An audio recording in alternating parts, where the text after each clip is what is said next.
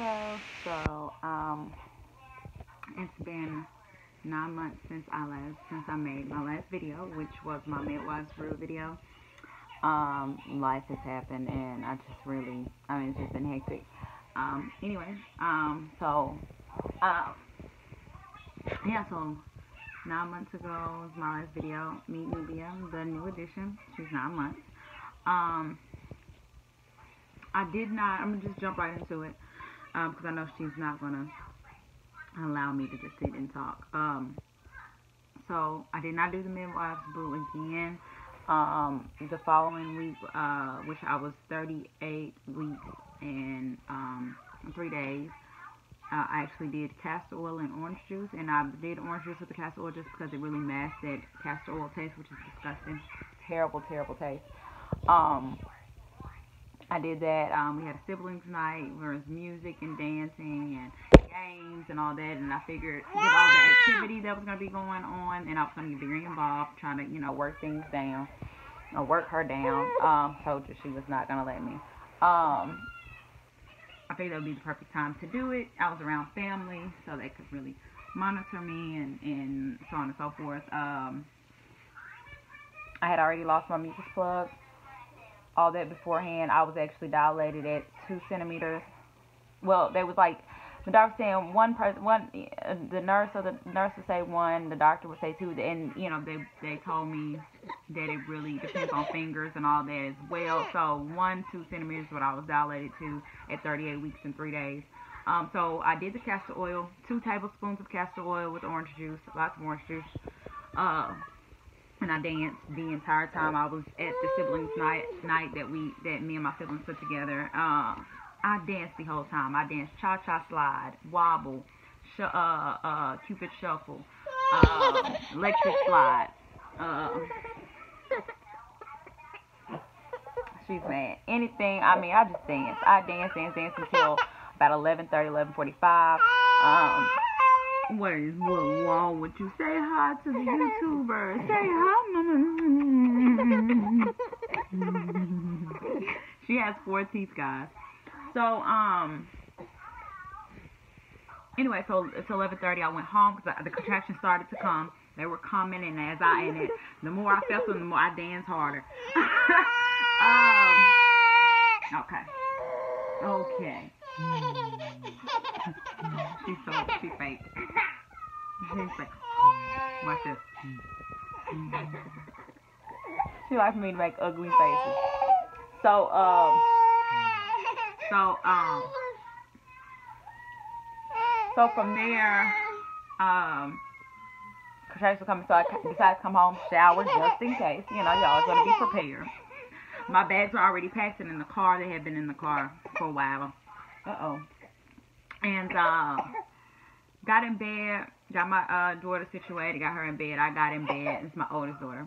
Um, and the contractions coming. I called my sister who lived in an apartment complex next to me, and I said, "Hey, man, these contractions are really picking up." So she came on over just to check check on me and sit with me for a minute, just in case she needs to get my daughter and take her with her.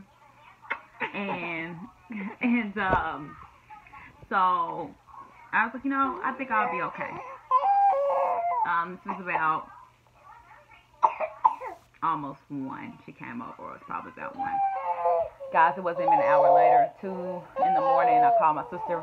I called her back and I said, I said, you know what? I'm not gonna make it. I think it's time. I'm, the the contractions are really picking up. I think it's I think it's time. I think I think I need to I think I need to bring her bring my daughter over. And my sister's like, You're gonna drop me off? I said, Yes, I can't wait.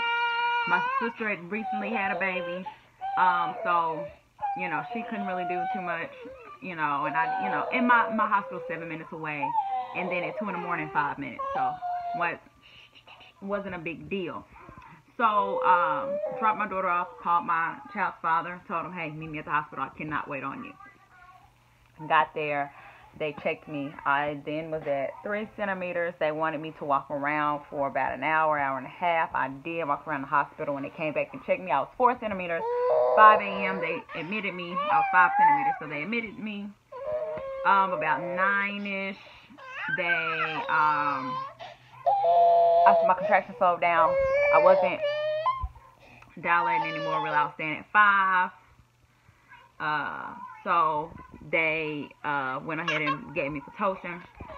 At um, at noon, my my doctor came over and broke my water.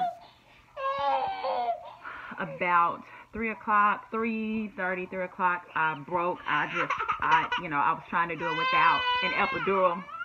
The fear, my fear got the best of me, cause from, you know, all that time I was having contractions, I did fine, but fear got the best of me. Uh, you know, the the the way the contraction waves became pretty intense. I, you know, and it was just, I don't know.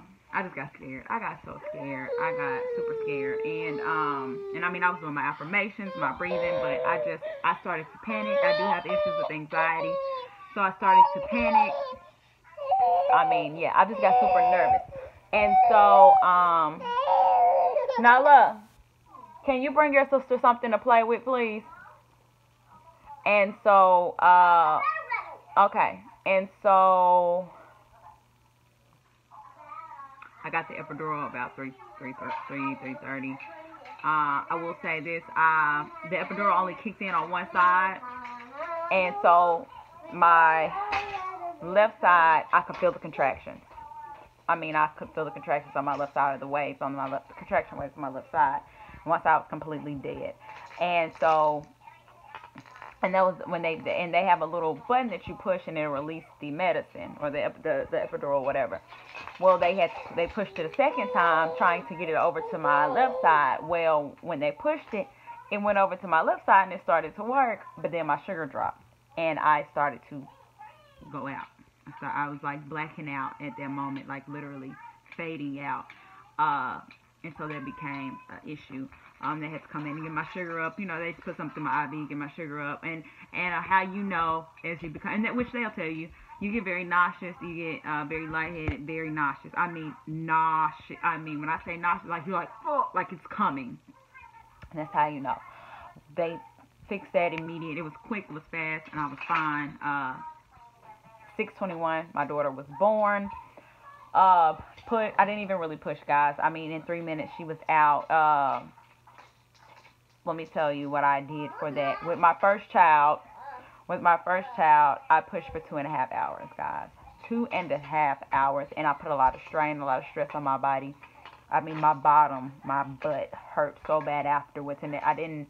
There was any hemorrhoids or anything, but it was so much straining that I did that I was in a lot of pain for about a week, and just my butt area.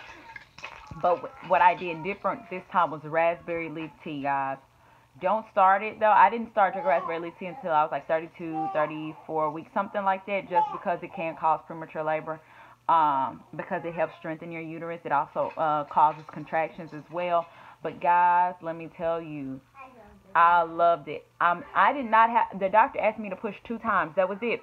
And after the second time, he told me, he said, "Don't push anymore. Your uterus, stop kicking me. Your uterus is doing all the work for you." And and I, and so much so that when I when she started coming, y'all, when she started coming, I felt it like I was I, I was actually asleep. I was actually asleep, and I woke up because my body started to bear down, like it was going. It was like doing it by itself, but I could go, but I was going like two, and I was like, I was like, oh my gosh, she's coming.